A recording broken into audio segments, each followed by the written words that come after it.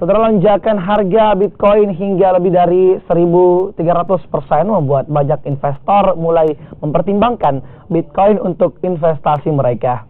Bitcoin di pasar keuangan dunia terus naik daun. Setelah pasar derivatifnya muncul, harga Bitcoin terus meroket. Bitcoin di pasar keuangan dunia terus naik daun. Setelah pasar derivatifnya muncul, harga Bitcoin terus meroket. Di tanah air sepanjang tahun ini, harga Bitcoin telah meroket lebih dari 1.800 persen. Jika di akhir Januari harganya masih sebatas 12 juta rupiah, hingga 14 Desember harga Bitcoin telah mencapai 239 juta rupiah.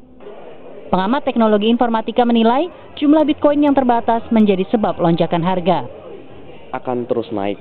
Kalau BI kan mencetak duit kan tiap hari cetak duitnya. Kalau Bitcoin ini stoknya udah itu-itu aja, udah terbatas udah ada limitasinya udah ada. Nah mungkin ya wajar kalau barang ini makin langka ya makin mahal. Ini ini ya eh, logika ekonomi aja. Meski sempat dilarang BI, nyatanya makin banyak yang tertarik dengan Bitcoin. Bitcoin Indonesia mencatat setidaknya ada 700 ribu anggota yang sudah tergabung dalam perusahaan miliknya. Meski begitu, anggota ini lebih banyak menggunakan Bitcoin sebagai instrumen investasi ketimbang sebagai alat pembayaran mereka lebih menggunakan Bitcoin sebagai safe haven asset class atau mereka menggunakan Bitcoin sebagai bagian dari teknologi blockchain yang ingin mereka gunakan. Ya, jadi memang saya lihat di Indonesia ini tidak ada kecenderungan orang menggunakan Bitcoin untuk pembayaran.